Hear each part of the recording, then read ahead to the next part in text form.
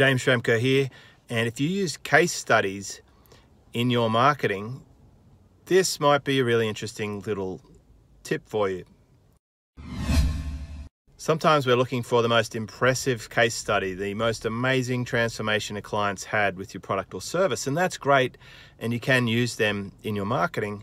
However, there are some consumers who might look at that and dismiss it as them not being able to repeat that because it's too transformational, it's too hard to believe, or it's quite obviously an extreme and not the norm.